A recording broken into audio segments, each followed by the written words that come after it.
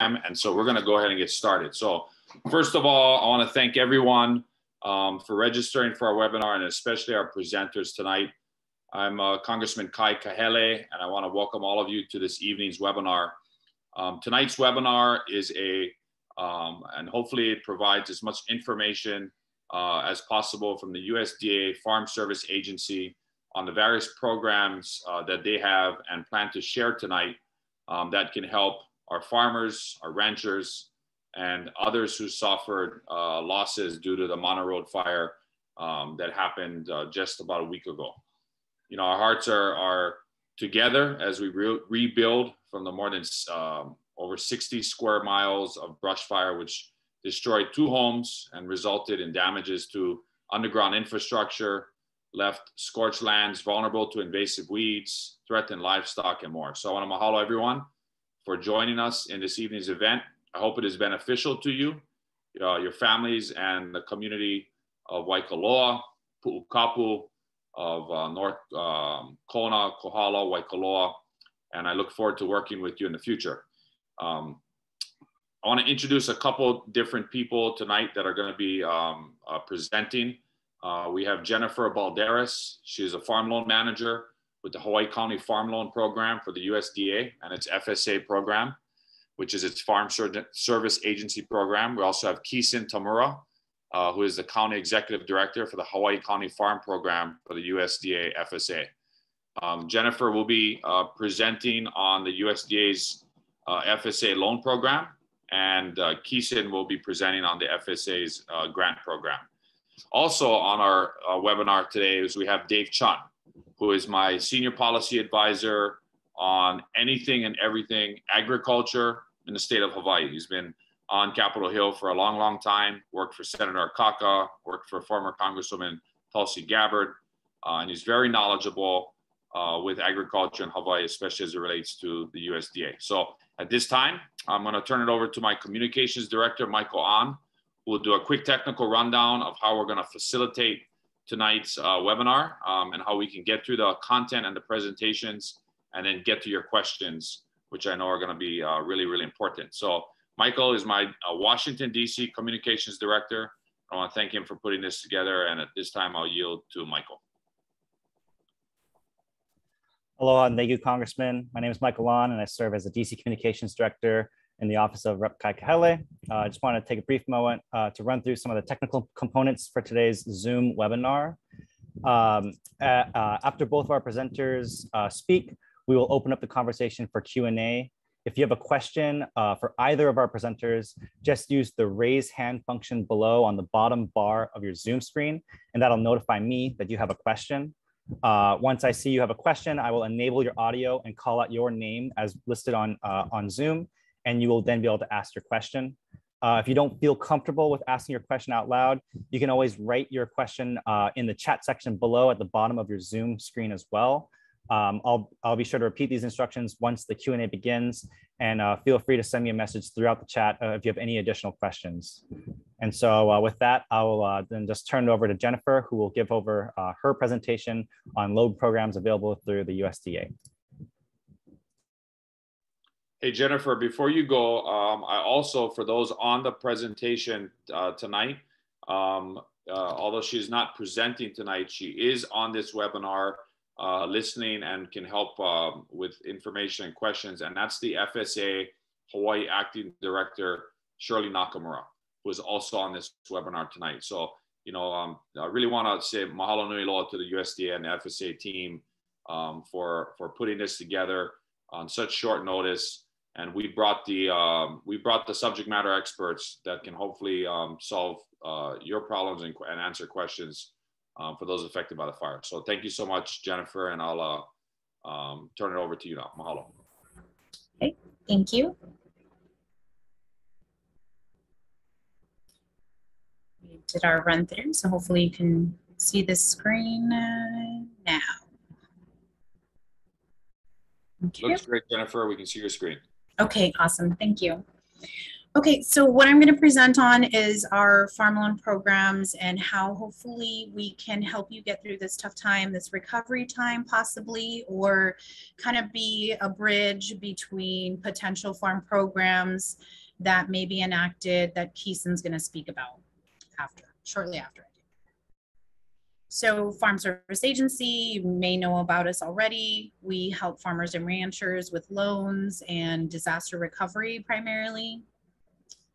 We have on the loan program side, guaranteed loans and direct loans. And our office in Hilo works for the entire county of Hawaii. And we do the direct loans. So basically, we are a temporary source of credit um, for applicants who are unable to get commercial credit elsewhere. We provide the loans, we help you with the application, we review the eligibility requirements, the feasibility, whether or not you can pay for it, and then the collateral requirements for the type of loan that you're looking for as well. Our loan programs, basically we have an operating and ownership. Our emergency loan is only activated through a presidential or secretary of ag designation. Our operating loan is part, can be part of, can include a microloan and a standard and the maximum amount um, that you can borrow can be up to 400,000 and it can help with the purchase of livestock, breeding stock, um, operating expenses. Maybe you need to repair your fences after this. Uh, you need to be buy feed. Um, those kinds of things can be included in this type of loan. And then the term of the loan is between one and seven years. Our current rate for August is 1.75. And I put August in parentheses because as some of you may or may not know, our rates are issued by our national office and they change, sometimes they can change month to month.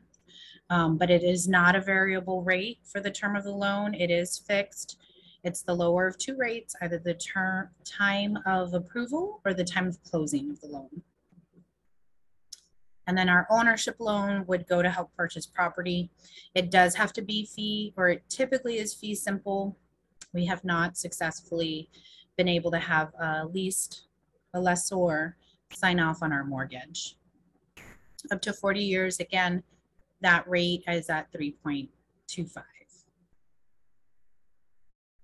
Our application process, we provide you the application, we provide you with assistance, as I mentioned, if you need it.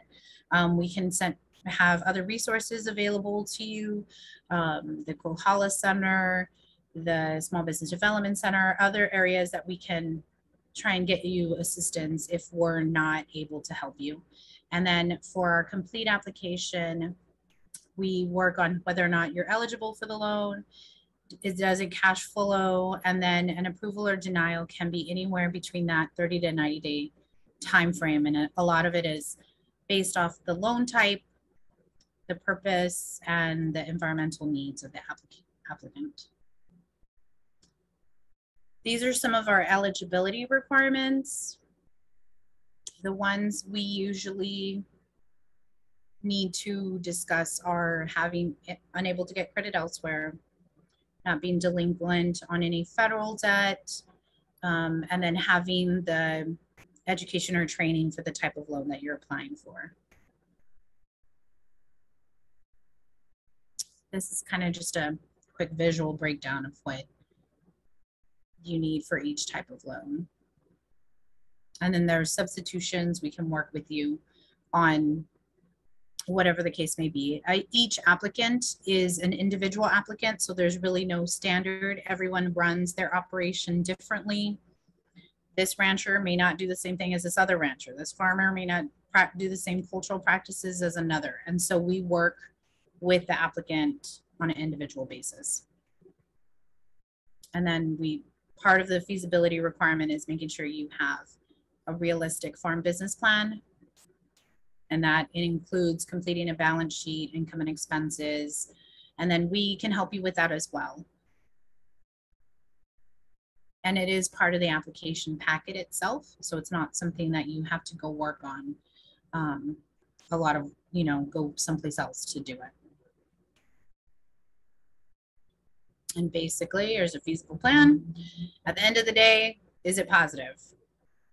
Do you have enough money for what you want to do? Or you don't.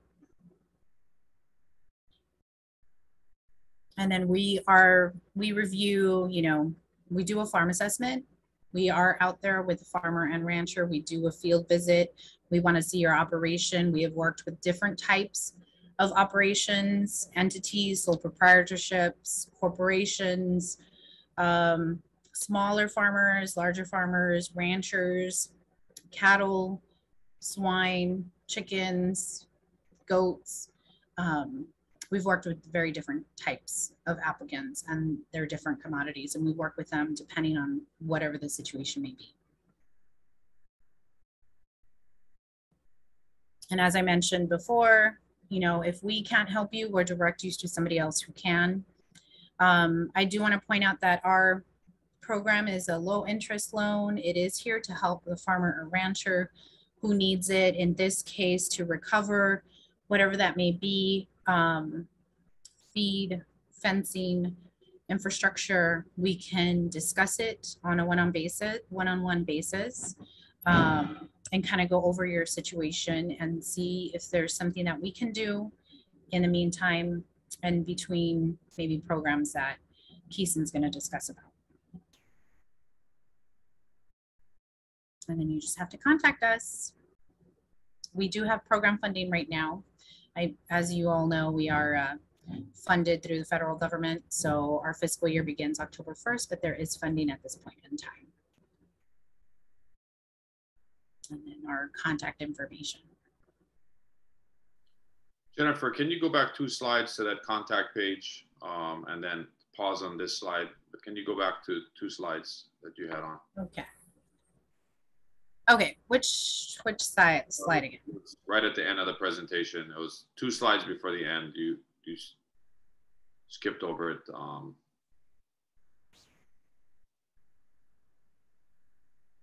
this one.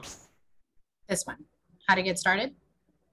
Yeah, I just want to make sure you, you had um, moved on to the next slide. I want to make sure that uh, the attendees. Um, oh, yes, I apologize. I kind of moved a little fast. I apologize. Let me know um, if there's any questions, if we're doing question and answer now, if we're going to wait to the end. No, we'll wait to the end. So, okay. Okay. So these are the three other types of assistance that people might be able to reach out to. One of them would be at CTAHR and the UH's extension um, Hawaii Small Business Development, and then like uh, Jennifer mentioned earlier, the Kohala Center. And then there's a number for the Ag Mediation Program.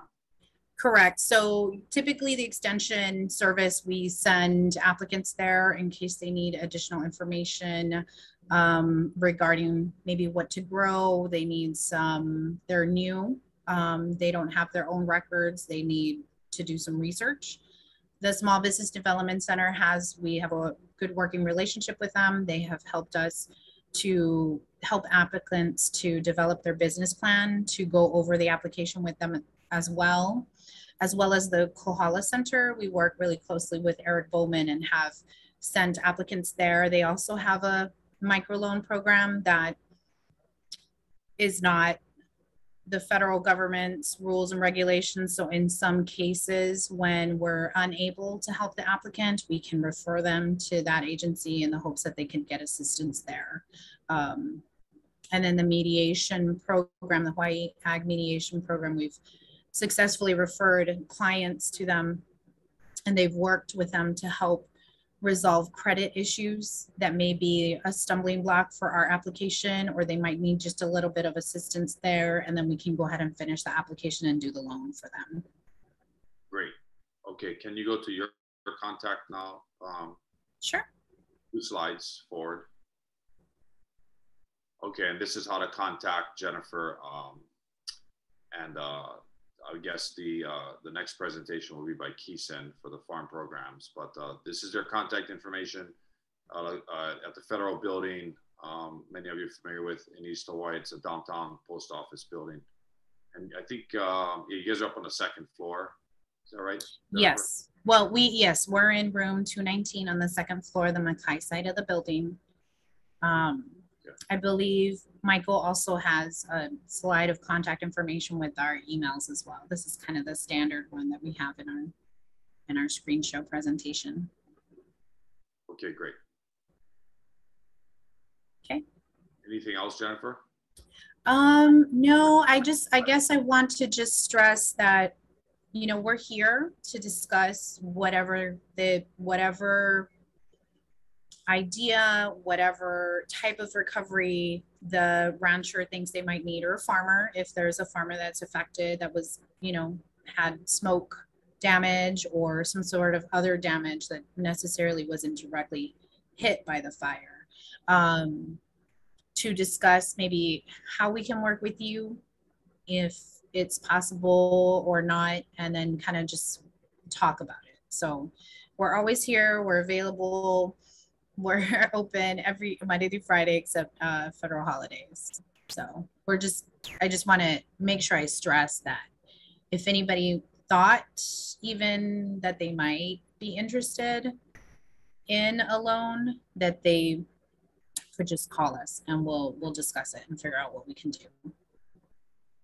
Okay, great. Thanks so much, Jennifer. We're going to jump now to Keeson, Okay, thank you. uh, who will give us a presentation on the different farm programs, and we will uh, open it up to uh, to Q and A. So, Keeson, uh, the floor is yours.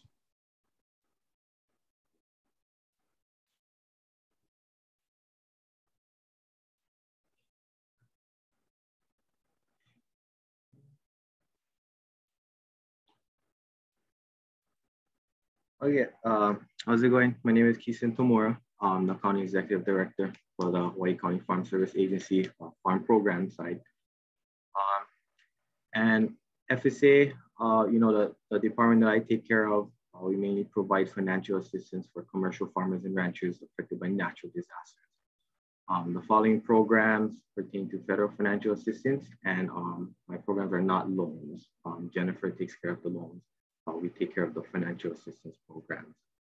Um, there is a link down here, farmers.gov link, um, that takes you to pretty much access anything and everything you want to know about FSA, um, including if you're on the mainland.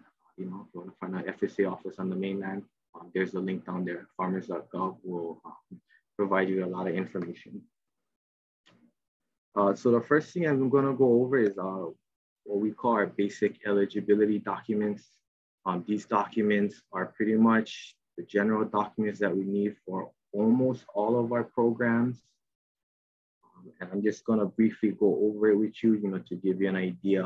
Um, you know, we, when, when people do paperwork with the government, you know, it tends to be scary, but um, these documents are pretty easy to fill out, you know, and my staff and I uh, are here to help you guys fill it out as well.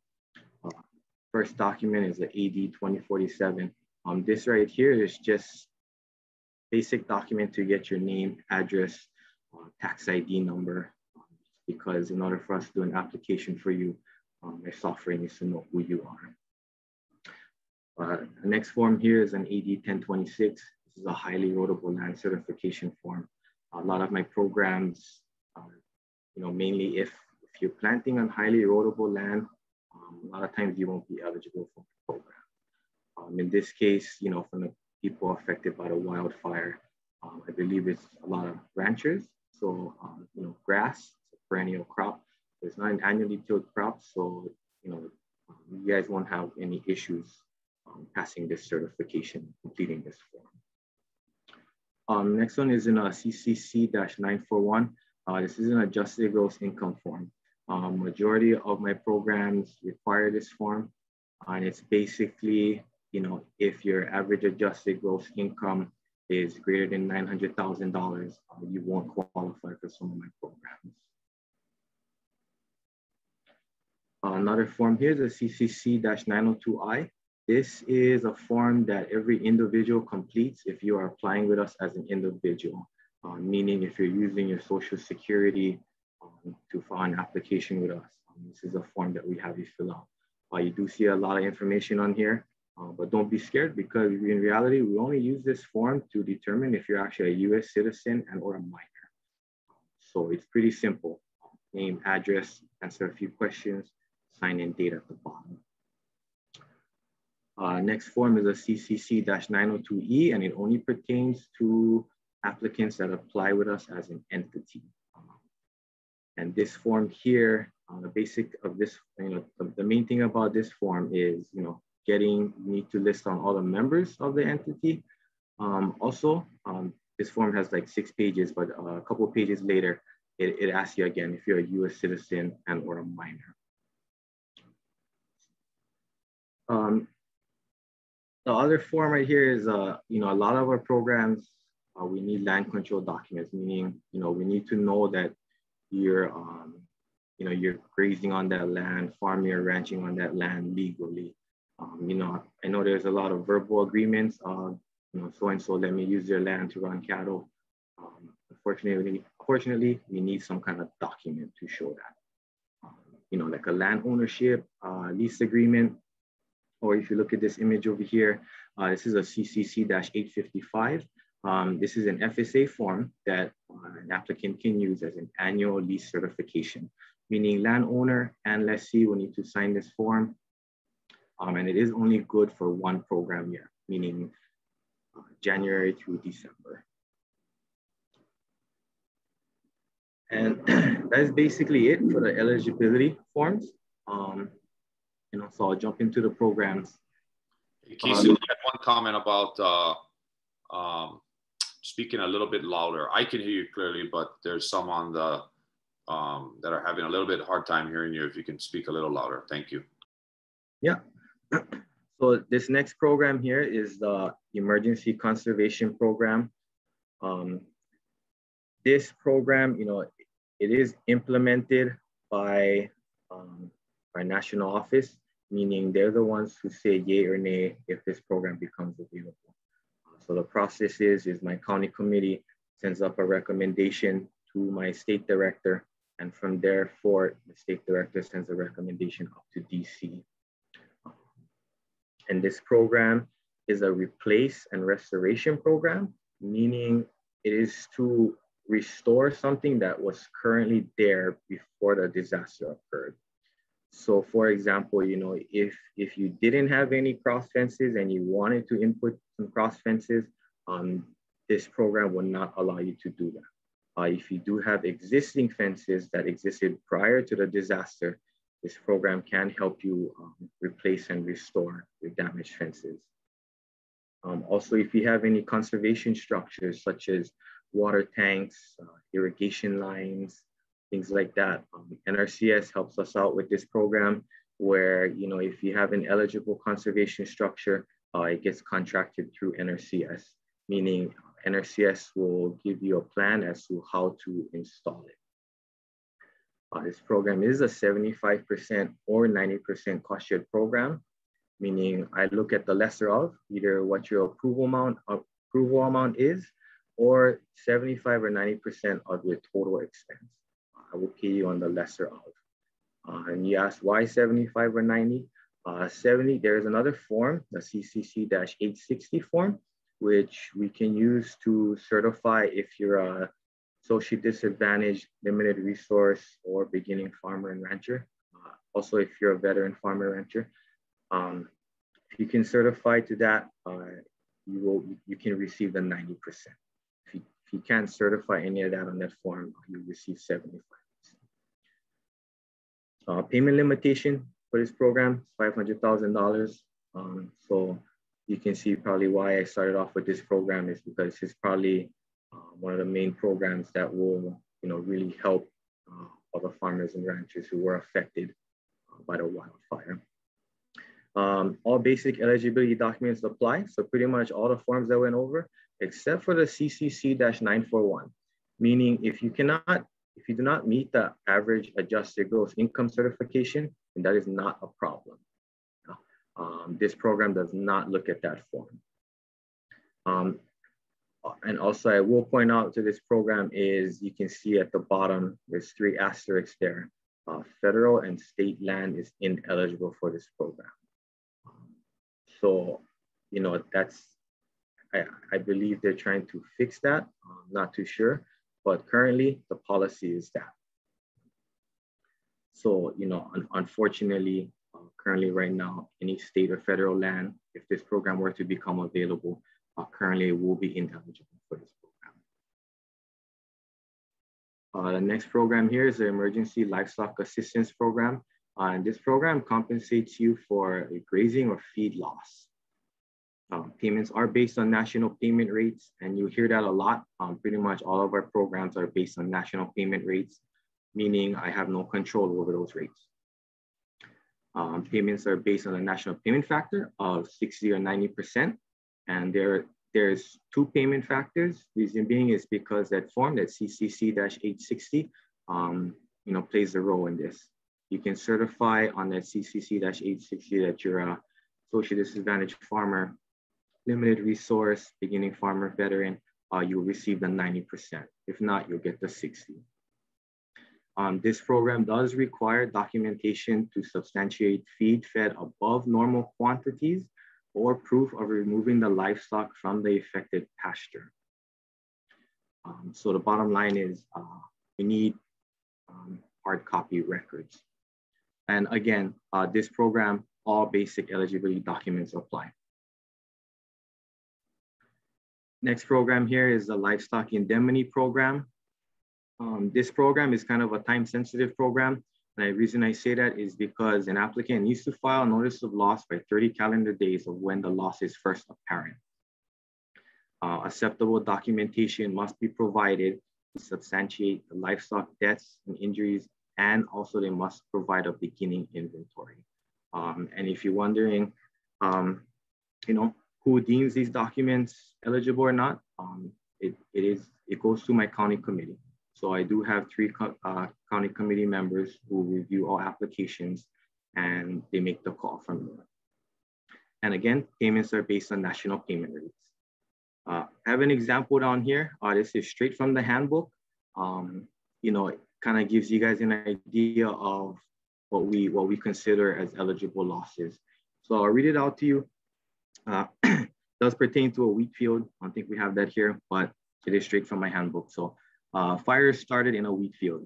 The fire spreads to nearby native pasture, and as a result, livestock are injured or killed. Unless the fire was spread and became a wildfire due to extreme, abnormal, and damaging weather, straight line winds, for example, the fire would not be considered a wildfire under the definition of eligible adverse weather events. So those three programs, um, you know, I started with those because they, they mainly pertain to the wildfire. Um, you know, those aren't the only three programs that FSA has to offer. We do have a lot. Um, and these programs right here, there's four additional programs that are included and they do not directly pertain to the wildfire, but you know, it's currently available right now. You know, if you wanted to apply, you can. Uh, I have the livestock forage program which pertains to a designated drought within the county. So June 28th, the US Drought Monitor kind of flipped the flag for us and said that, a Hawaii County, you've been in D2 for eight consecutive weeks. Um, that means um, all commercial ranchers, you know, who graze animals are eligible to receive a subsidized payment. Uh, the next one is a coronavirus food assistance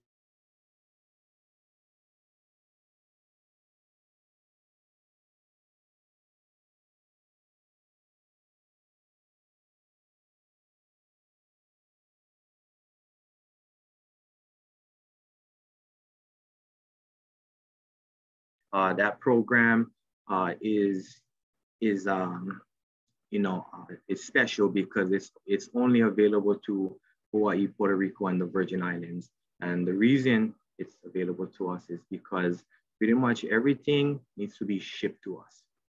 So this program, it uh, compensates you a small percentage for the shipping costs of you know anything. Yeah, uh, for example, if you were to go to Walmart, you buy a shovel for $10, the price tag doesn't tell you that a dollar or 50 cents pertain to the shipping cost. So this program here, um, anything uh, pertaining to your farming operation is eligible for this program and it is reimbursable. Uh, last program is a non-insured crop disaster assistance program. Uh, we call it, it's kind of like crop insurance, but we don't call it that. We call it a super long name. Um, but it is kind of like crop insurance and it is for uh, your crop. So, you know, a lot of ranchers come and ask me, is this insurance for my cattle? No, it's insurance for your grass. So it's for the crop. Um, and I think that would be it. Um, I leave you with this last message. Uh, failure to provide complete and accurate information and records could result in ineligibility for FSA programs for the year or multiple years, um, being liable under any civil or criminal fraud statute or any statute or provision of law. Um, that is my last slide. And my contact information is down there. Um, my staff information is down there. Uh, our office consists of um, four people. So yeah. All right, thanks, Keeson. Um, I know we have a bunch of questions, and I'll have Michael, uh, I guess, moderate that, or at least ask the question we can get answers to. Yes, uh, thank you so much, everybody. Uh, I have just added uh, another screen over here. This is just some uh, general contact information for our two presenters, uh, Dave Chun in our office, as well as our Hawaii district office. Um, I will go ahead and start. I have been noting down folks' questions. I'll start with our first question, which was from Laura um, to Jennifer, and she asked, can the microloans be used to rebuild homes? The microloan can be used to rebuild a home um, as long as it's uh, part of the ranch commercial ranching operation and then it kind it it can go both ways it can go two ways we can do it as an operating loan where it's $50,000 or less as long as depending on the amount that you need to rebuild it is meets that $50,000 limit and it's payable within 7 years.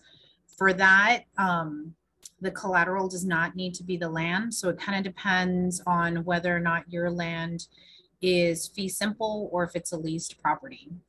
Um, if it's a leased property, then we would need to look at other items for collateral to secure the loan.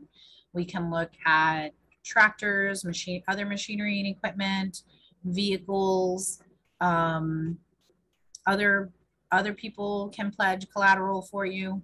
Um, as long as it meets that 100% requirement of whatever you're borrowing is the is 100% that we can secure it. The other option would be to do a farm ownership loan, which the term at that point can go up to 40 years. And that would be just to figure out whether or not you need that longer repayment period.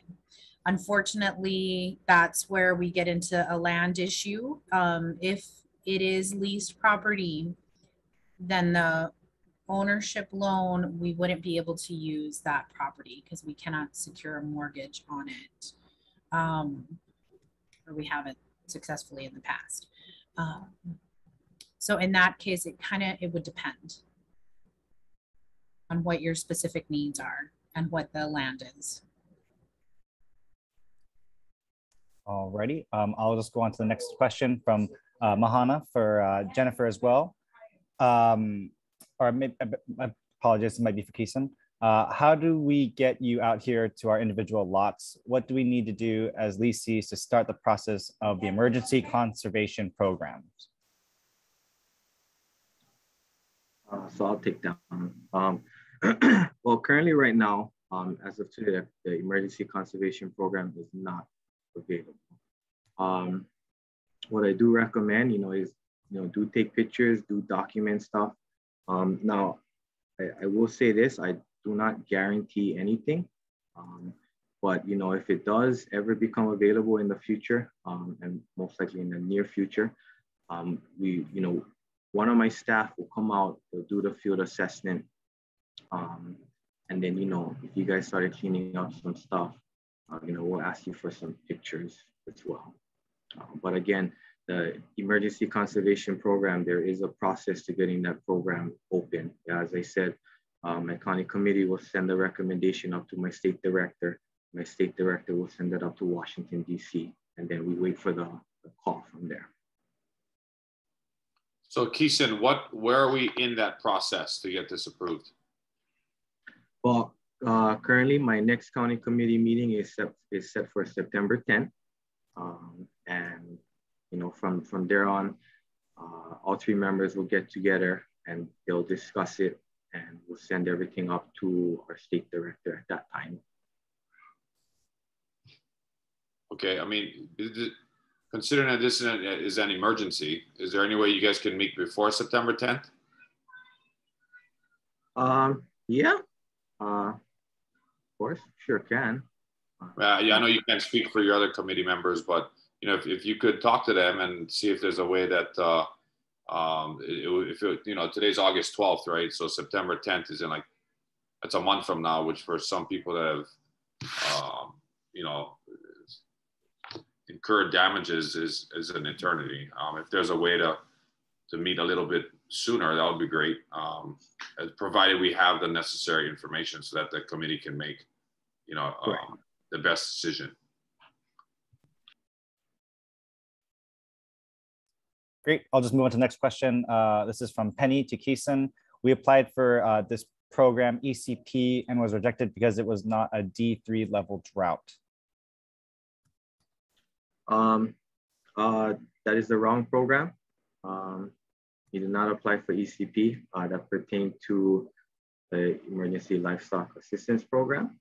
And the reason being is you were not eligible is because in the handbook for that program, what you applied for was for water hauling. Uh, in the handbook, it specifically says that there needs to be a D3 drought uh, in order to be eligible for water hauling. Uh, at that time, county committee reviewed the US drought monitor and there was no D3 drought.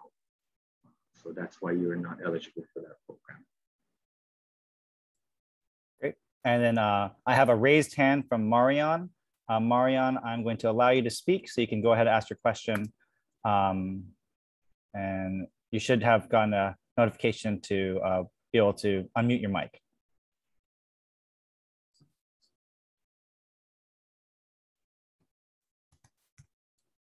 Marion, are you there? Okay, I'm just gonna go ahead and move on. Uh, Marion, if you have a, another question later, you can please just put in the chat and we'll, uh, we'll get back to you. Um, next question is from Lokelani um, and uh, is directed to you, Keeson. Did I hear that correctly state for federal lands are ineligible? Yes, that is correct. And, um, you know, I know a lot of DHHL land uh, was involved in the fire, but that's what the policy is right now.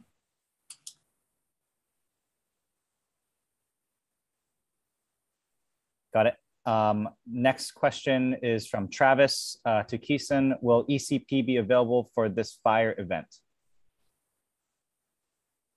So um, as I mentioned before, currently it is not available. Um, we will go through the process of trying to get it open. Um, and as I said, um, final call comes from Washington, DC. Hey, Keeson, I have a question going back to Lokelani's um, uh, question about the ineligibility of state or federal lands. Is that um, an administrative rule? Is that um, where, where, does that determination exist? So for the emergency conservation program, um, we have our handbook. Uh, it's one ECP. Um, and it is public, so you can find, find it on the farmers.gov site. But it is in there and it does specifically say that federal and state land is ineligible for that program.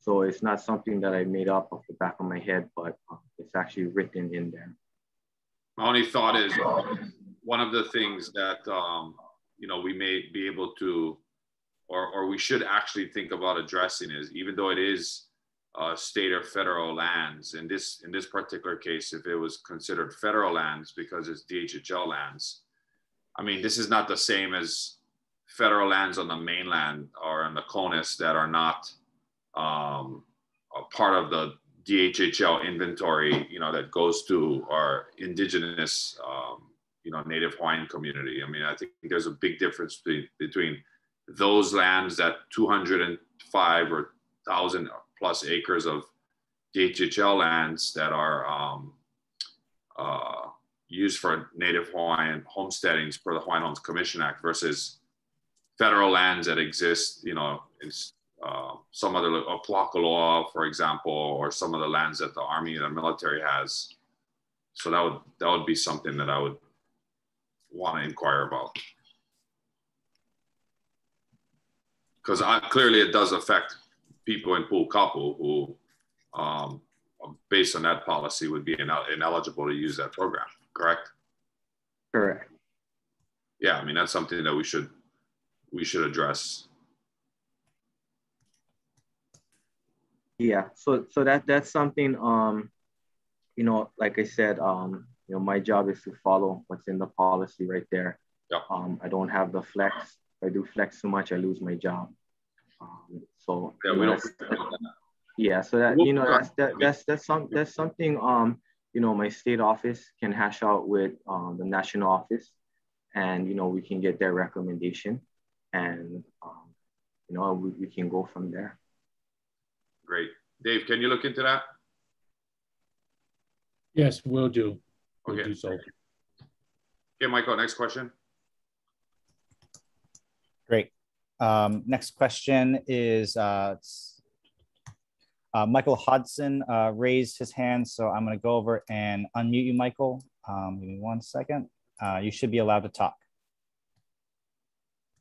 All right, you can hear me. We can hear you. All right. Hello, I'm Mike Hudson. Uh, I represent Waimea Hawaiian Homestead Association, a nonprofit 501c3, and Waimea Nui, a registered homestead beneficiary association with the Department of Interior. in this situation, extreme weather conditions, specifically high winds, came out of nowhere. You know, coupled with extreme drought in our uplands of Waimea, normally known as the best grazing lands in our community, it added extreme fuel to the equation and made it impossible to control. You know, Mother Nature took its course and devastated 240,000 acres of prime ranch lands which a portion of these lands were trust lands set aside under the Hawaiian Homes Commission Act of 1921. You know, recovery is the key takeaway, I, I feel, that I want to emphasize. I believe the ECP was designed for just this. And if we take no action, further devastation will occur, specifically in the soil erosion. You know, wildland fires, as we all know, are a force of nature and take, take on their own weather patterns and are nearly impossible to prevent as they're difficult to control. And that was the case on July 30 to August, August 5th, 2021. Our uh, trust lands are substantially underserved and are extremely economically depressed and socially disadvantaged community. Our Native Hawaiian families on trust lands, to restart without the help of FSA and NRCS, it will, it will take decades and even generations. So I strongly request your consideration in clearing this situation as an ECP to get our people immediately help. You know, we are predominantly dealing with trust lands, nearly identical to that of Native American and Alaska Native trust lands, with the exception that the State Department of Hawaiian Homelands was entrusted to manage the day-to-day operation of the trust until such time the reestablishment of our native government is created. DHHL issues awards with 99-year leases. Our association is willing to work with FSA and NRCS to help expedite these services. You know, I do know that, I think it's Zach, I, hard time pronounce his name, the uh, FSA director in Washington, D.C he's well aware of trust lands not being federal or state lands, but held in trust for our Native Hawaiian people. So I, I believe that uh, he will consider uh, and this and, and allow this ECP program to be established. So my, my question is, what is the process of making a determination? I, be, I believe you, you answered it on whether it becomes an ECP. So I guess that comes from Washington, DC. You know, if we do have this ECP designation, which we which will give us immediate assistance. You know, we would like to work with uh, local FSA office and NRC office as well as DHHL to help our beneficiaries sign up for the programs and fill out and turn in all documents needed to get them started. And I would like to create some kind of cheat sheet document and information that you would need for our members so that they could bring and complete the applications on site one time. Many of our um, members have gone through the process of filling out applications, and because it's lengthy and, and cumbersome, um, they don't return them. And uh, I've been dealing with that situation with our lessees for, for about a decade now. So I would like to have, hopefully, if this ECP pro program is established, the ability to work with your office and bring our lessees together and, and do some kind of um, um, workshop to this with some type of like universal form so that we can make sure that we get all the documentation. Mahalo. Hey, Mike, thanks for the um, uh, comments. And uh, you know, you heard what I said earlier, and uh, I looked at the chat, um, and Dave already has that, those marching orders. So we're going to find out what we can do in Washington D.C. to help Keeson and the local office with that uh, determination, because I do agree that's something that needs to be um, looked at and addressed.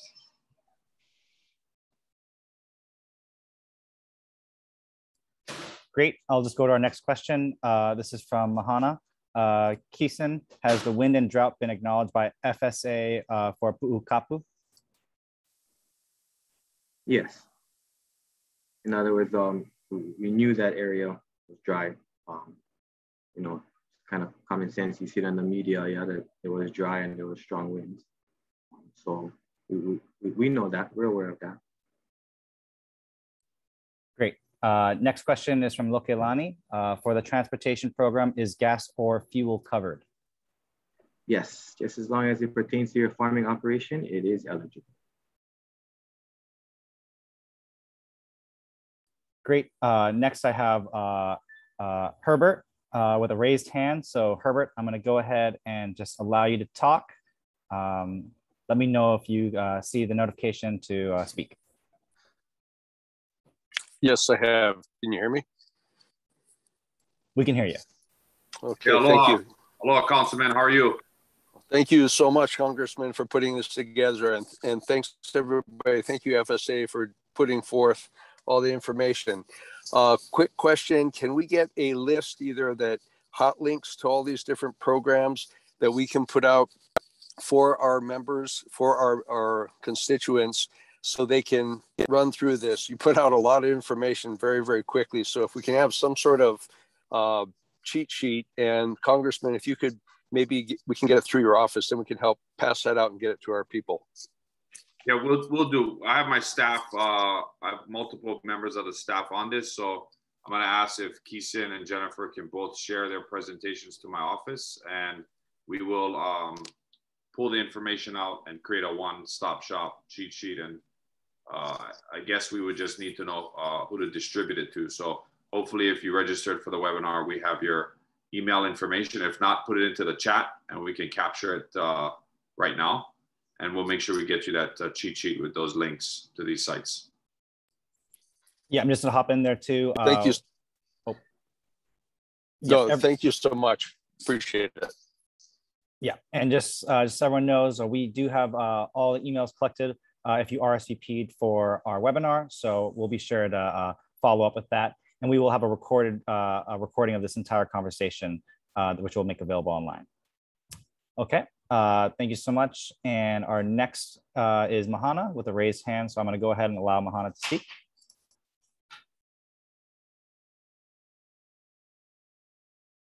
And Mahana, let me know if you if you can speak. Can you hear me? Uh, can you hear me? Yeah, it's a little uh, uh, distorted. Is this, is this better? Yeah, a little bit better. Yeah, go ahead. So I just I wanna I wanna tackle what Mike Hudson had to say. Is that at this point we're all here on the ground we saw what happened. And so if we are being classified in, in a federal and um, state jurisdiction that there is no coverage for that kind of land, we did not have federal resources or state resources available to us. And we have video footage, we have photography of what happened, and we had none of those resources available to us. So, at what point is that considered when putting us in that bracket that federal lands and state lands don't qualify? For, for me, is that if that's the case, then we should have the same resources that were offered to private and federal and state, but we didn't. And so my question is, when does that get identified?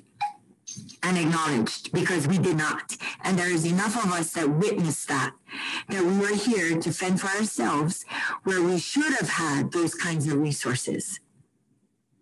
And that's my, my question.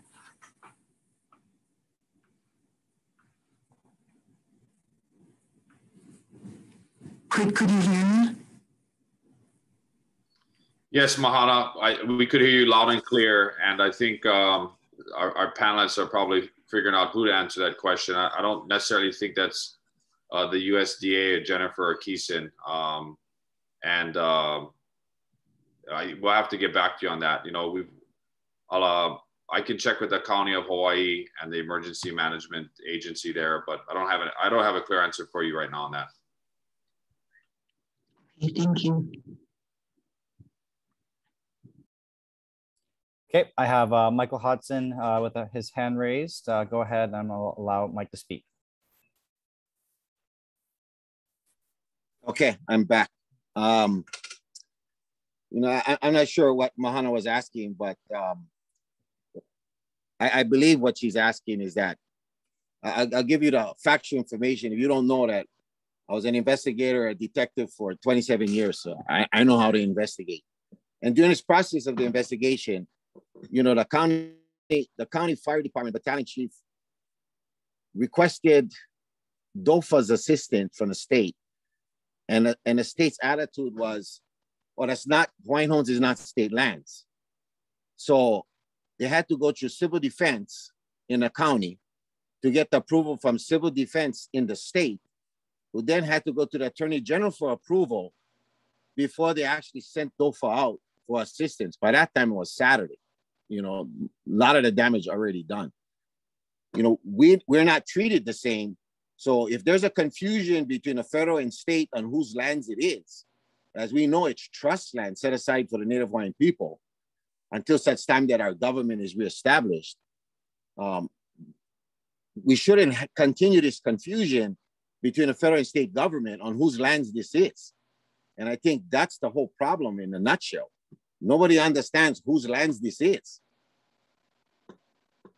Because of that, we don't get the kind of assistance that we normally would get if we was on fee simple county lands or uh, having uh, private property lands. And, and I think that's the frustration us, us beneficiaries have living on trust lands. Thank you. Thanks, Mike. Um, next, I have Shirley Nakamura. Uh, Shirley, I said get your hand raised, so let's go ahead and I'll, I'll allow you to talk.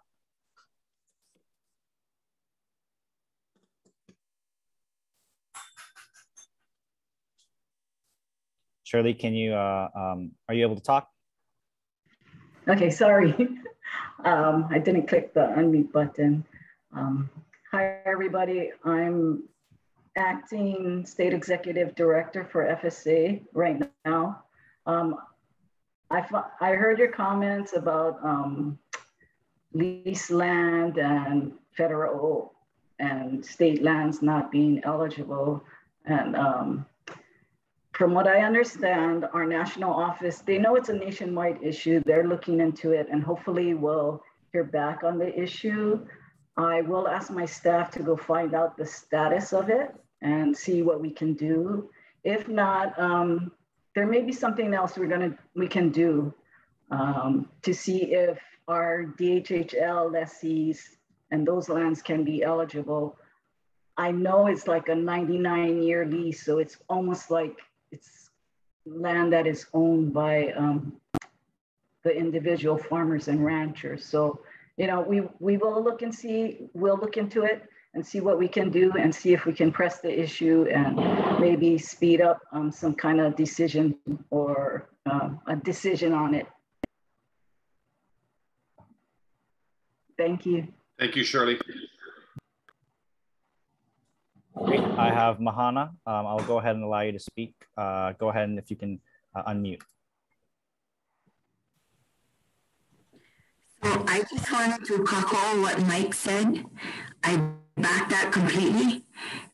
But what I want to say is that while we are trying to make all these decisions, there are people still living on the ground right now, staying up 24 7 to put out hotspots on their own dime, their own vehicles. So, whatever can be done at a federal state level to expedite this, the people of the land know what's going to be done and they're doing it. No matter what it costs. So the decision makers, if you can like help us to expedite this and not get caught up in it, we are clear who we are, where we are, what we are. The question is, government, are you? And can you help us to hurry it up? Because we are the ones on the ground living this. Whatever rules you put in place, whatever we have to follow mythology, we are living it. Can you hurry up to catch up? And that's all I got to say. Thank you. Thank you, Maha.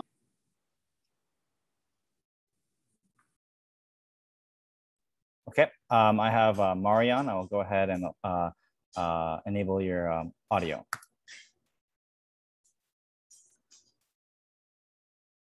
And go ahead.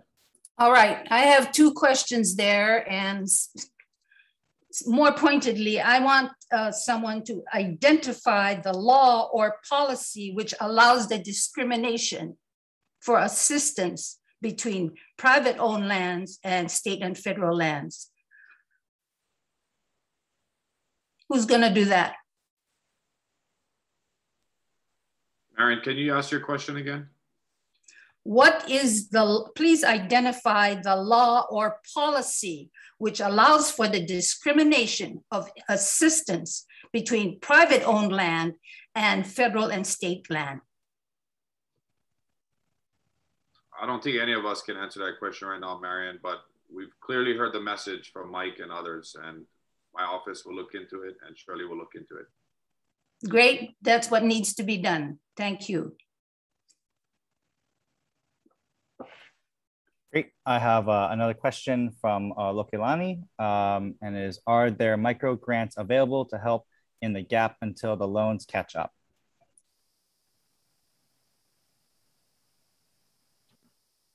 Um, I, will just say that um, my agency I mean, I know it sounds like grants, but um, technically it's not a grant. Uh, we just look at it as financial assistance. Um, but I, I, I, guess to answer your question is maybe, um, you know, there are other programs that are available that do not pertain to the wildfire that you are open right now you can apply for. Um, so, but you know, any any type of financial assistance directly pertaining to the wildfire um, immediately, as in like if I can pay you, cut you a check right now or tomorrow, I don't really have anything currently.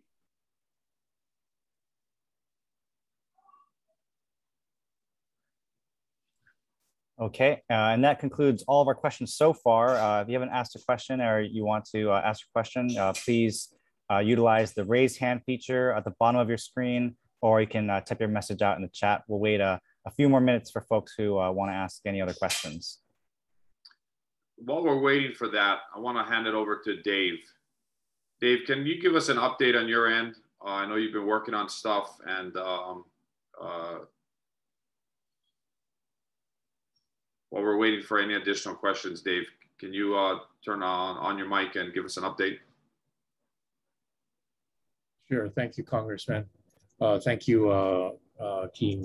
Hey, hey, by the way, I also want to note to everybody on the call, um, Dave right now is in Washington, D.C., and you can just add six hours to seven o'clock p.m. and you'll get to figure out uh, what time it is right now where Dave is. So, Dave, thank you so much for being on this uh, this um, webinar tonight. We really appreciate. I know it's early in the morning in DC for you. Thank you, Congressman. This is what we do. We provide customer service. You are our customers, and we are public servants to help. Um, you know, uh, the the big issue, and, and I sorry, my my freeze, my my uh, my uh, computer had frozen up, my connection had frozen up, so you might have touched this more in detail earlier, but the the the the main issue is this the designation of whether this was a man-made or a natural disaster uh, fire uh, during the moments when my connection was frozen. Did, did you folks address this in detail? No. Could could we could we because uh, th this is the feedback that's coming. I mean, a lot hinges on on natural disaster versus a man-made fire.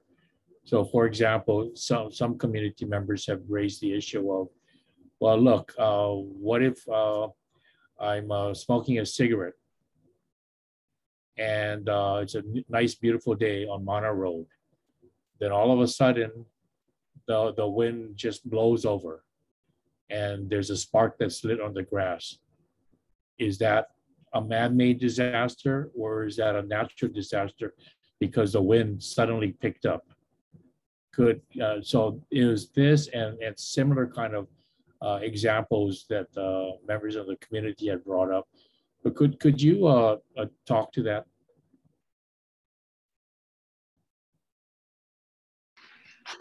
Dave, who are you directing that towards? Uh, to uh, both Jennifer and and Keeson, and as well as uh, acting director Nakamura, because a lot a lot hinges on this.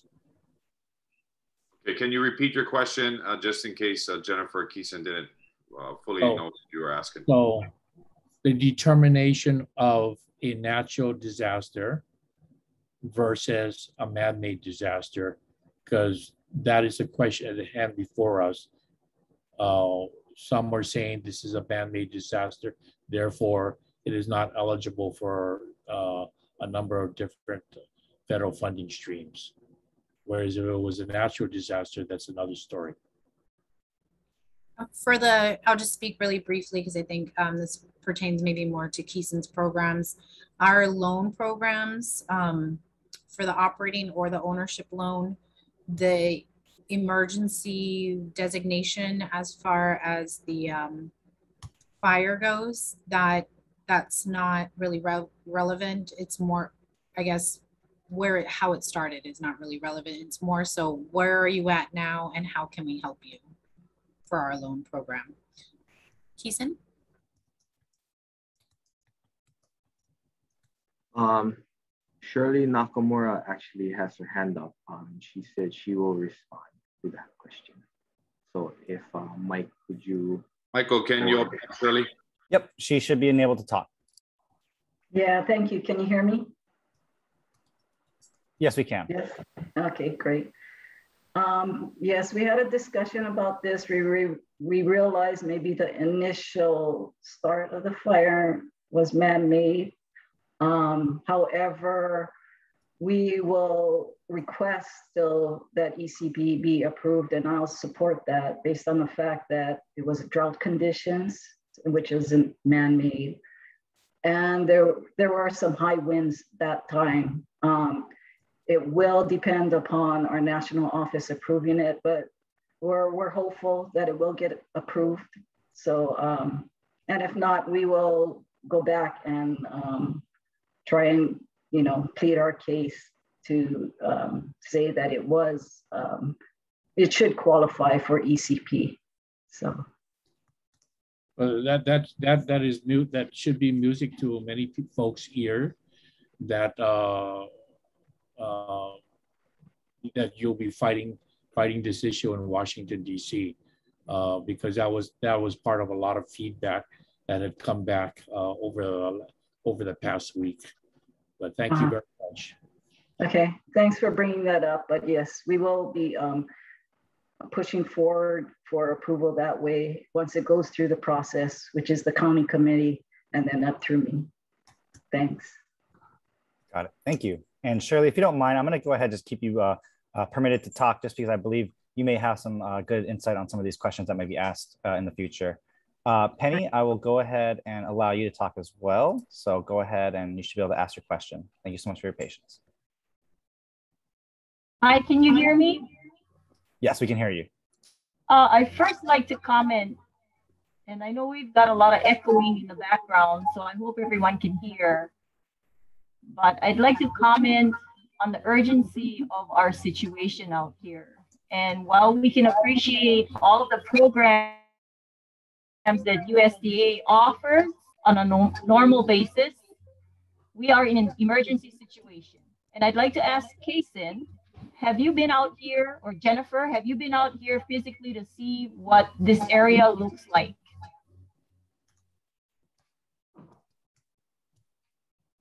Uh, I'll speak for me. Um, no, I haven't been out that side. Jennifer?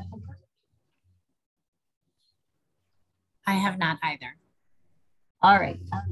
My point is we cannot wait. I can appreciate uh, Mike Hudson, Mike Kahele, Shirley Nakamura, um, all those that have shared the urgency. Now, uh, what I want to stress, and I hope you can hear me, alone in this situation is not what all these homesteaders are looking at, okay? Um, unless the ECP program will allow for this particular fire to be considered a natural disaster, none of the homesteaders will be able to succeed. There's so much damage that was done by this fire. And we cannot wait till September, Kason.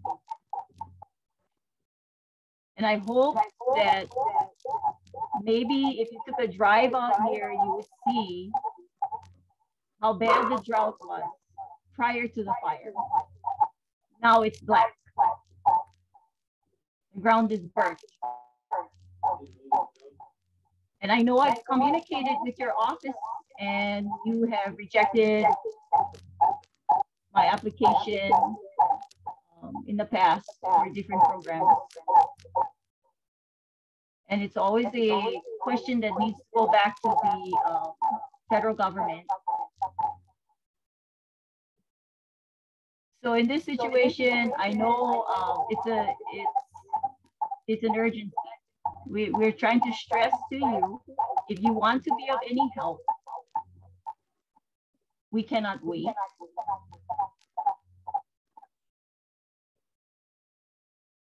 Thank you. Thank you.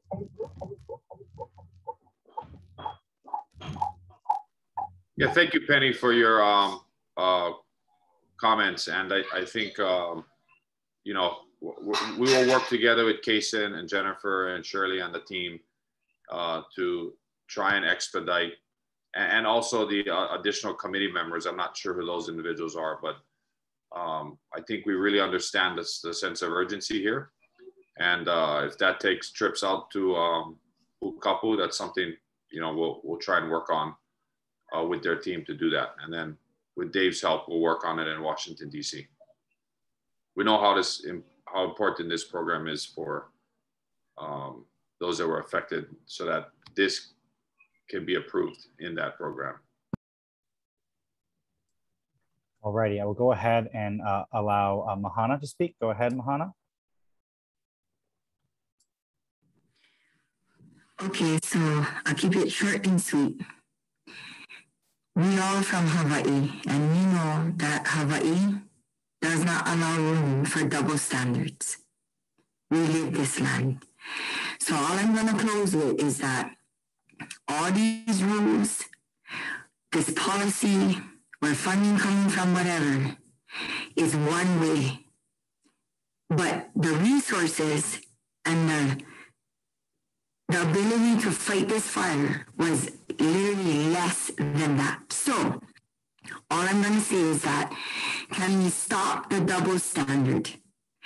If the standard is going to be, we're going to do what we're going to do for the people in this land, no matter what the bureaucratic tape is, we're going to figure it out and do it.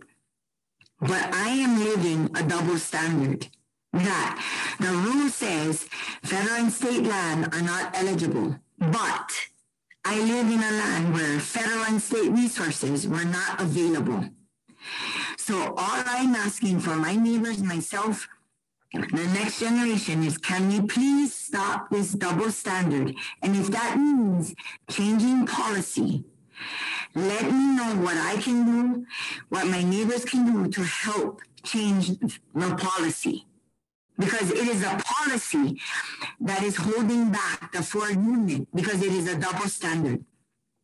I've lived it. My neighbors have lived it. Our children have lived it. You are all living it right now with us on this call. It is a double standard that we cannot let go any further. We need to focus on what do we do to change that. there's no room for double standards. Because if we set the standard, there is only one. We holomua. We move forward. But you folks are the decision makers. We are the people on the ground. Collectively, I believe and I know we can do it. But we have to stop hiding behind false pretenses that it's just a policy. No, let's acknowledge the double standard and change the policy. And that's all I got to say. Mahalo. Thank you, Mahana. We're going to work our hardest to change that policy. That's all I can say, at least for tonight. All righty, I have one more hand raised from Michael. Uh, Michael, I'm going to go ahead and allow you to talk. Okay, this is in response to Dave. Uh, Dave Chan. Hey, Dave, thanks for staying up um, and uh, working diligent on on this this process. And it's, it's been over a week with you. Um, I think what you missed when you got disconnected is that under the um, emergency um, program, federal and state lands don't apply. But there's many areas in USDA law that identify uh, Homes Commission Act trust lands in the same category as Native American and Alaska Native lands. And I think that issue has got to probably come up with, um, I, I, believe he's the SA, FSA director, Zach, Zach uh, Ducheneaux. Um, and, and he's well aware of tribal lands, being that he's from South Dakota and he's a tribal member the, of the Sioux Nation.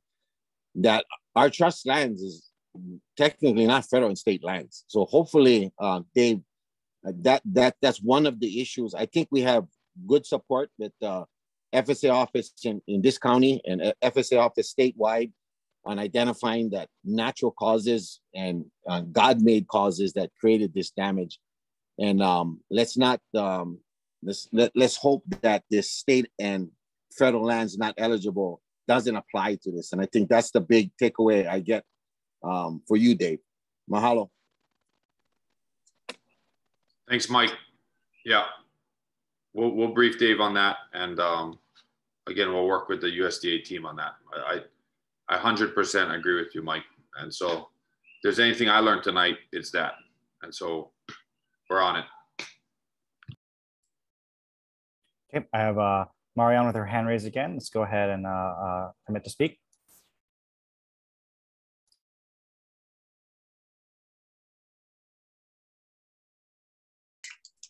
I would like to suggest that Ms. Haaland from the Department of Interior be included in this. Thank you very much. Thank you, Marion. I have a good relationship with Secretary Haaland, so um, if and when we got to pull her in to, to assist with this, I, I um, assure you I will, I will do that. Anything else, Mike? I believe I mean, that's uh, yep. I believe that's uh, all of our questions right now. I'll give uh, folks just one more minute to uh, raise their hand if they have one last question. Uh, but looks like we okay. are. Can you do me a favor, Michael? Um, can you pull in uh, Councilman Tim Richards? Um, yes. Let me go ahead and. Not necessarily put him on a spot, but you know I know he's been working really hard um, ever since his fire started. He might have an update or some information to share from the perspective of the county and the county council you know, there's um, uh, a process with uh, HIEMA and with FEMA and, and that component of it. I don't necessarily know what would or what would not qualify, but Council, Councilman Richards, you want to give an update to anyone on this since we have an audience and we still have a good solid almost 45 people that are participating. Yeah, th thanks, Congressman. And um, listening and listening very carefully to the whole conversation, uh, I think what Dave put forth and having this determination and be sure that we carry that message going forward that this is truly a, a um, act of nature and why it got away from us and, and going forward. Also listening very carefully to the designation, how we're going to handle taking care of Pu'ukapu and the Hawaiian homestead lands. Um, I think this is also a message we have to carry forward. I think um, I've, I've, talked to the mayor about this, and I had a debriefing with the um, police, uh, excuse me, fire chief yesterday, and we're in the phase right now of assessing what total uh, damages and needs from the damages occurred right now. I, I did discuss with the mayor about taking this and uh, based upon the conversation we had, Congressman, with you and with Dave Chun uh, going forward and having that designation of a federal disaster that has to go up through the chain, has to go up through the governor. But the mayor is very supportive, and I discussed him with it as far as taking this through the governor and then up to DC. Um, it's my belief that we need to take this to the president. And as I understand it, that if we can get a secretarial designation, but I think it's more important to get a, a um, presidential designation because that will trigger all the departments. So we've heard about Department of Interior, Department of Ag. Uh, as we've discussed, I'm concerned about the environment as well. And so I think from a bunch of different perspectives that we need to take this high and quickly. And I'm very sensitive to the needs. Councilwoman Sue Lee Loy has also been listening to this. And um, we are working on the, the near term needs, which is getting help on the ground. You know, my cousin has articulated those. Mahana has articulated those. We have to get help now for people to get from point A to point B. The follow up is the, the bigger things. And I realize that the federal money takes time to get there, but we have the near term and then the long term that we have to do. But time is of the essence. And, you know, Congressman, I appreciate you stating that the sooner we get um, the FSA, the local committee together to make a determination so we can go forward, the better. But that still doesn't address right away. So we're working very, very diligently. Again, we have uh, more calls tomorrow concerning this exact conversation and how we can go forward. Mayor is fully supportive of taking this designation as high as we can. And so I'll be working on that with your office uh, to take it as far as we can. Does that answer all your questions, sir? Yeah, it does. And I really appreciate that. Um, hey, Michael, can you pull in Lokelani Lee Loy. I, I I'm sorry, I um I missed uh I missed Councilwoman Lee Loy on, but yes, while uh, while that while she's coming on, and I'll give her a chance to say a few words. I mean, we, we do have to move very very quickly on this, and I think uh, the sense of urgency is apparent. And on the county side of the house, working together with Mayor Roth and trying to capture the losses um, from all the different affected uh, you know, individuals, ranches, farms in this area is, is what we need to capture so that the mayor's office and the governor's office, ultimately through HIEMA, uh, and if that's the route we have to go, and then when the delegation can come together, and I'm working closely with um, Senators Hirono, Senator Schatz, and uh, Congressman Case's office uh, on this. And I know, um, I think I saw earlier um, Dale Hahn from Senator Schatz's office was on the call as well. And so there's there's many people that have heard um, the sense of urgency that needs to happen. And if we as a delegation um, need to work with the governor's office to uh, convey that sense of urgency to the White House and to try and trigger an emergency presidential declaration, then I'm totally committed to do that. So I think there's a there's multiple um, uh, irons in the fire here. Uh, clearly, we can use uh, the designation to be relooked at, um, and and maybe the USDA FSA team, uh, if if if time permits and they're available, can make that trip uh, up to Waimea to to really see firsthand the damage um, uh, that people have incurred. Councilwoman Lee Loy, thanks for joining us and being on all night on this call. Do you have anything to add that Councilman Richards um, didn't cover? Um, thanks, Kai. Thanks for taking that 30,000 foot look with all the work that needs to happen at our federal level. I'm very focused, along with Councilmember Richards, to look at something a lot closer and quicker. Um, we're looking at micro grants. We're looking at Hawaii Community Foundation. You know, uh, today there there was just a number of amazing partners who have stepped up that we're trying to close the gap as far as getting everybody uh, some resources immediately until these loans and all these other applications come through. Um, you know, my office and Tim's office has partnered to provide some contingency relief monies. And Mike, uh, Mahana, you know, we have nine council members and Tim and I are there, but you guys should also reach out to Holeka Inaba, um, just other council members who are Native Hawaiians who would understand the need and the urgency. And they also have contingency monies too. Um, and this is a way to infuse money immediately into Pu'ukapu and some of the needs for the district while these other things get worked out. Um, that's all I have to offer. And, you know, I continue to stand ready to help, especially our homestead community. You know, I'm a homesteader down here in Panaewa. So everything everyone spoke about, about the double standards, um, we live it too. And I get it. So whatever I can do to help to remedy that, I'm ready to do that. Great. Thanks, Kai. No, thank you so much. And, you know, for myself sitting here right now, I still don't understand the uh, extent of the damage, not by going there and looking at the damage, but by having the damage documented per individual, uh, per individual household, individual farm, individual ranch.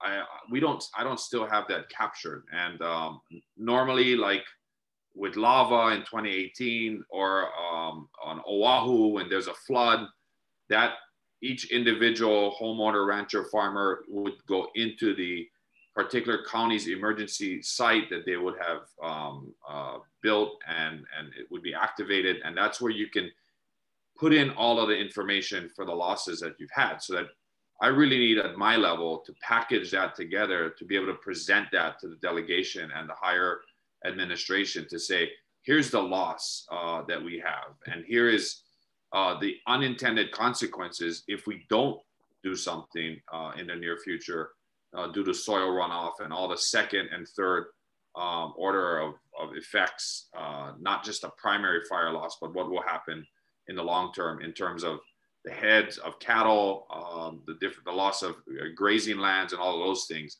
That all needs to be quantified, and I don't have that yet. So uh, Councilman Richards or, or Lee Loy, can you speak to any of that? Do you know how we're capturing that at the county level? Um, Tim, are you on? I, will jump in real quick.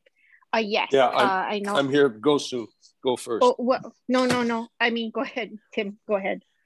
Well, you know, Congressman, that's the concern, and you've heard the Pu'ukapu ranchers discussing that they are putting it together and, and again working with them to articulate that to get a final number. But um, you know listening to all the federal programs is great but we've lost fence lines we lost water lines we've lost grazing capability. I know a lot of animals have been moved moved and partnered out. We talk about transportation and you know with all due respect um, Keeson, you talked about you have a committee that certifies things. I'm thinking to myself, how do we certify um, things that happen very quickly, sometimes in the dark? How, do we come back very, very quickly to get that? So those assessments are being done currently. The problem is, is um, we've got to get the funds to these ranchers and some farmers quickly to keep them in business now while we catch up to that final assessment. And um, that's still being done. And I would expect that we'll start seeing some numbers probably by the end of next week that are actually starting to make sense. But we're still putting those numbers together. And, you know, Mahana articulated, they're still fighting fire. This isn't POW yet. They're still babysitting the fire. So until we get that behind us, um, asking for an assessment is a little tough when they're still putting out hot spots. So but we still got to keep them going. And we have a lot of um, guys that jumped in. I was talking to the fire chief, like I said, I think 27 bulldozers were working at one point. And a lot of these guys are, um, you know, some of the big companies like Isemoto and Goodfellows and all, but some are, are like Rivera. He doesn't run a lot of bulldozers. A lot of these guys just jumped in to help take care of Kokua, get things done. And they helped get our arms, and I say our collectively, around this fire. But they also they did it, you know, with no great expectation of immediate funds. But we do need to come back and help take care of those guys. We still haven't put all those numbers together yet. We're getting there, but it's going to be a little while before we get those numbers because, again, the fire's not POW yet. They're still working on it. Hi, and if I could jump in, I know civil defense, fire, Mike Hudson has already started to collect that, which is why that critical path for tallying the damages lies within that universal form. And so, you know, I'm working hard to borrow the information that we had from lava recovery to create that universal form, working with Mike and Mahana to get that as best we can, and then allow civil defense, fire, and any anybody else who helped assist to pour all of that into one place so that Kai, you can have that total number. Okay. Um, I can make some projections based on just hours of fighting fire so that I can begin to forecast that along with damages per acre. So there's ways to forecast that. Um, and I'm developing that nexus and rationale to come up with that number so that it's grounded in sensible data.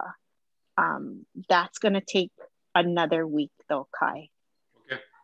Hey, Mike, go ahead. I know you had your hand raised and then we'll, we'll, we'll wrap this up since it's 7.30. Um, Kai, I had reported today to OHA this morning in the Board of Trustees meeting. And I, I read one statement that pertains to um, what we've gathered already as far as an assessment of damage, if, if you permit me to read it. Uh, it's yeah, not very long. It's about yeah, three minutes. Yep. Okay. So um, my report was fire damage. The extent of damage, 32 beneficiaries have completed our fire damage assessment report as of 8 11 21. The estimated damage has exceeded $2 million so far. Um, some news clarification three homes, not two, were burnt to the ground. The weather report for Waimea predicted gusts of up to 45 miles per hour. We underground knew it was far more than 50. There were not hundreds of firefighters, as what is being reported. There was hundreds of homesteaders and family members fighting the fire. Beneficiaries outnumbered the fire department 20 to 1, even until today. Um, Waimea Homestead set up shelter for our people immediately uh, to provide whatever we could to help them, feed them. Um, the, we had a beneficiary meeting. Our first gathering took place on 8-5 with over 40 families being represented to start the process of assessing the damages. Uh, the homestead created a reporting form which each family affected by the fire for each family. The process is ongoing. Our second meeting on the evening of 8 10 21, government officials requested to be present to address our people. Uh, DHHL Chairman Aila addressed the homestead victims of the fire and informed them that DHHL, DHHL has no funding to help any of them. County Mayor Roth also informed them they have no, the, the county doesn't also have any funding to, uh, to help them. Uh, Fire Chief Todd informed us that they're understaffed, poorly equipped, and did not have the capacity to fight this fire. So government government programs such as FEMA uh, exist to reimburse the government for their expenditures and rarely make monies available to the public, with the exception of low interest loans. Um, they talk about State Department of Ag has no no programs to assist our ranchers, especially financially. And our last resort is to get assistance from USDA's FSA Emergency Conservation Program mm. that could be used to help um, only under these extreme circumstances of natural causes. Um, most of my investigative findings, um, when, when, I expressed this in the, um, in a conference call with um, OHA, was about DC organized by by you, uh, Kai, um, wanting to make sure that FSA knew exactly what had happened uh, on this whole natural disaster. Um, I identified the areas of damages five five different areas: existing water lines to residents and pasture lands, either damaged by the fire or run over by the bulldozers. Twenty-seven of which were in our homestead properties.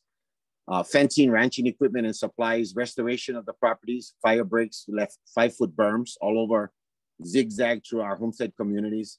Um, structural damages besides the homes. There was other structural damage, and then uh, smoke, smoke contamination and cleanup so where the homestead is standing right now, uh, as far as the water, we've secured twenty thousand dollars from Hawaii Community Foundation, Micah Kane, Michelle Kauhane, and Diane Chadwick. They immediately responded to our request for assistance, and we started the ongoing process of reimbursing our our, our homesteaders for um, fixing their water lines. As far as the ranch, uh, ranching, the big question. Um, fencing, ranching equipment, and supplies make up the bulk of the damage. And I'll give you an example. A 200 acre ranch lot exterior fencing will cost over $100,000 to replace. There's nine of them. There's 15 acre ranch lots and about that will cost about 30,000 and there's like 15 of them. And then those 10 acre ranch lots about 20,000 and there's at least 10 of them. That's just the exterior fencing, you know.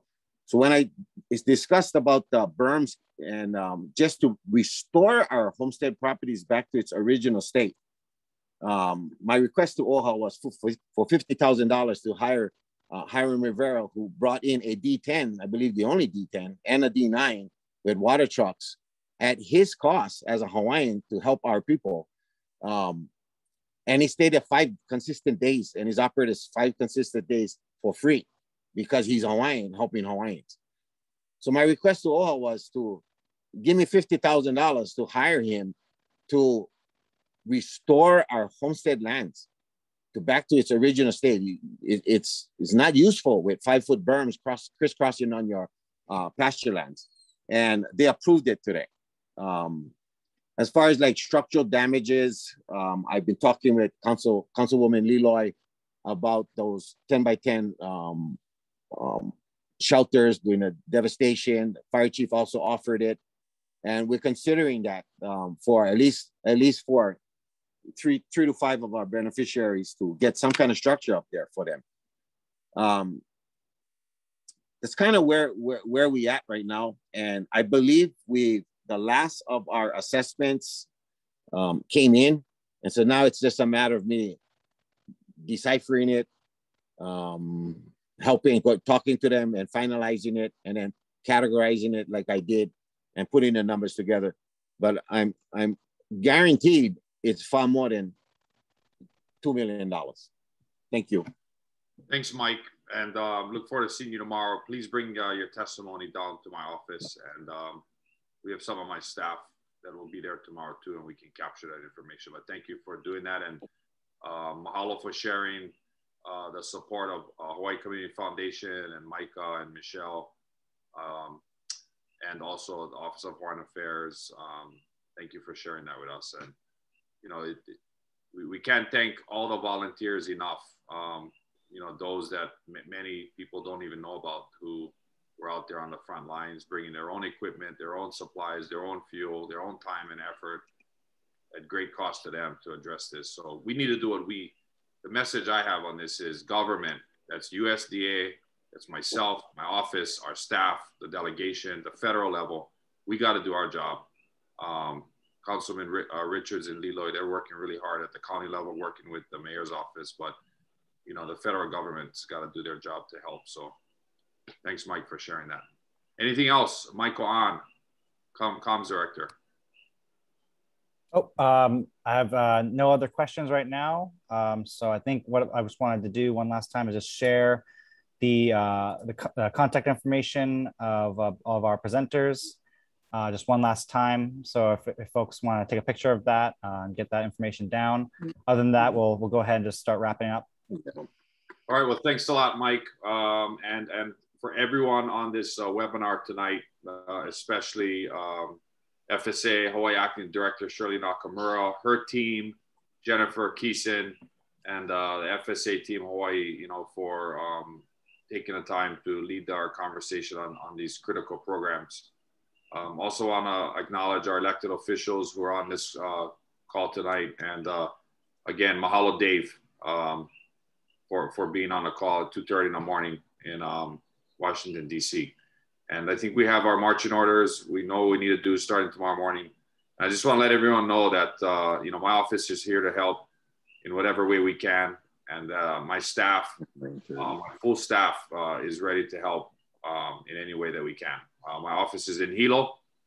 Um, it's one of the reasons we're here on Hawaii Island. And so if you need to come in and make an appointment, um, you know, given some of the COVID restrictions, we got to be mindful of you know, we're willing to do that. If we need to jump on a Zoom, we're willing to do that as well. And you can always give us a call at 808 746 6220. So thank you so much. Um, and uh, mahalo to everyone who joined us tonight. And again, have a great evening. And we look forward to working with all of you. Aloha. Aloha. Aloha, Congressman. Aloha, mahalo.